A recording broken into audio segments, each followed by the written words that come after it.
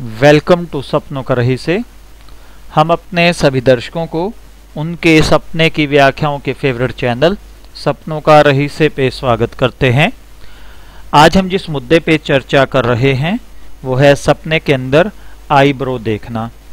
अगर कोई व्यक्ति सपने में देखे कि उसके आईब्रो जो हैं, वो ख़राब हुए हैं, उनमें कोई टेंशन या कोई प्रॉब्लम है तो इसका मतलब है कि सपना देखने वाला अपनी रियल लाइफ के अंदर अपने बिज़नेस में, अपने काम कारोबार धंधे में कोई लॉस देखेगा।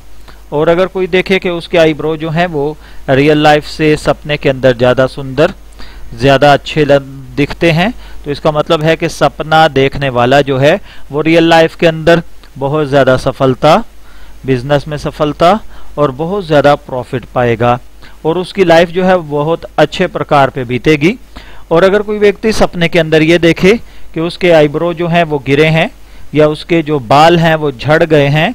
तो इसका मतलब है कि सपना देखने वाला जो है किसी ऐसे धंधे में, किसी ऐसे काम में हाथ डालेगा, जिसकी वजह से उसका किसी से लड़ाई झगड़ा फसाद होगा या इसको बदनामी देखना पड़ेगी।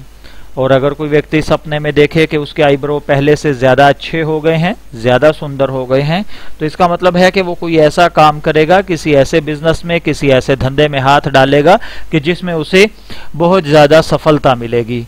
और अगर कोई व्यक्ति सपने में देखे कि उसका आईब्रो गिरा है, बाल झड़े हैं, या उसमें कोई और प्रॉब्लम आई है तो इसका मतलब है कि सपना देखने वाला अपने बिज़नेस में, अपने रुपए पैसे में अपने काम धंधे में लॉस देखेगा।